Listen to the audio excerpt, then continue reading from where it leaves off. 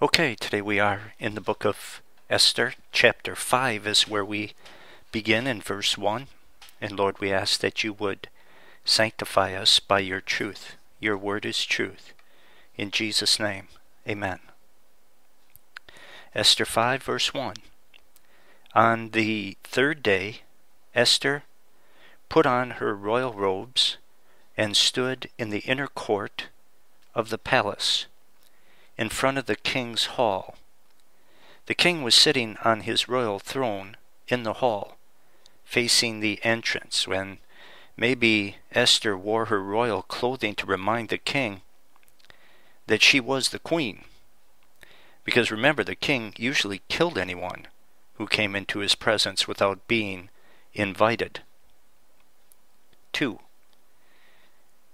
When he saw Queen Esther standing in the court, he was pleased with her, and held out to her the golden scepter that was in his hand. So Esther approached and touched the tip of the scepter. Then the king asked, What is it, Queen Esther? What is your request, even up to half the kingdom? It will be given you. And so the prayers of Esther and the other Jews were answered. The king is being very kind to her. 4.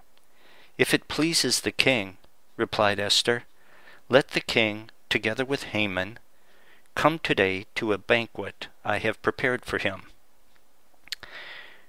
There would have been several people in the king's court at this time, and Esther would rather discuss her concern with the king in private, so she invites him and Haman the man that she wanted to talk the king about talk to the king about to a to a private dinner.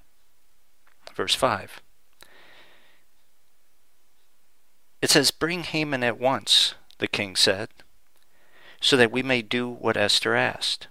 So the king and Haman went to the banquet Esther had prepared. Esther wanted Haman there when she told the king of his plot to kill her and all her people. The king would then have to decide on the spot who to believe and who to punish.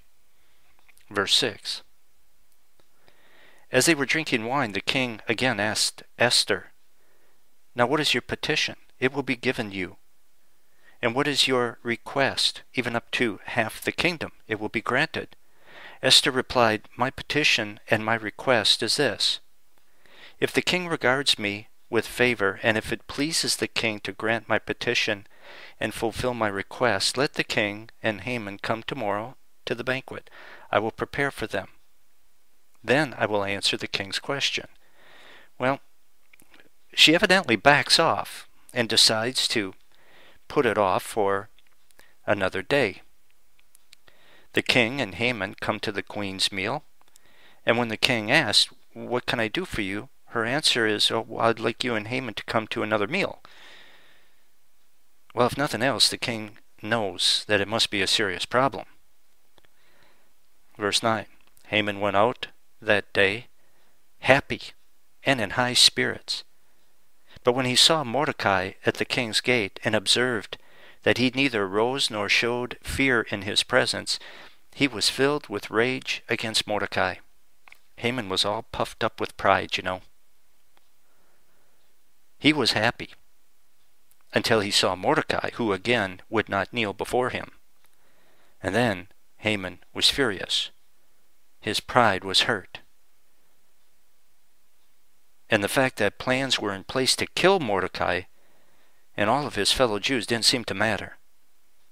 And as for Mordecai, well, if he didn't bow to Haman before, he sure won't bow to him now that he has plans to murder all the Jews.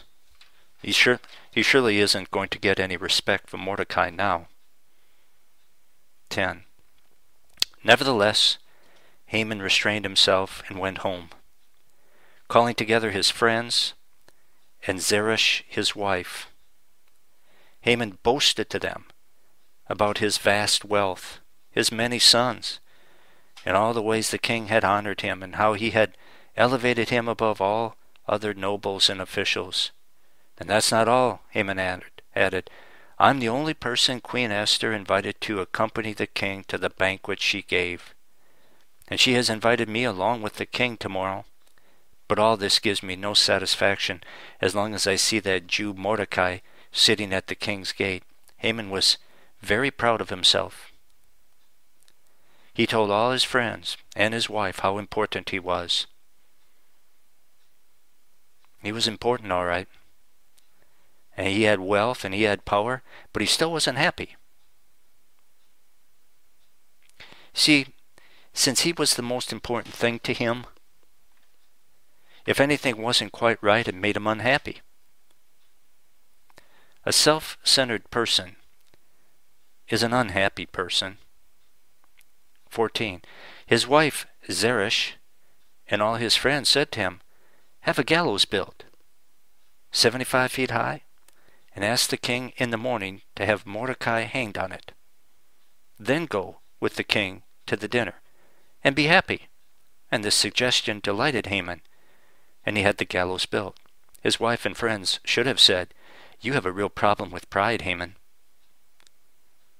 Instead, they suggest that he have Mordecai hung in the morning so that he can enjoy his dinner with the king and the queen.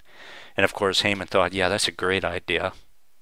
So he had the gallows built. He was getting it, he was getting it all set.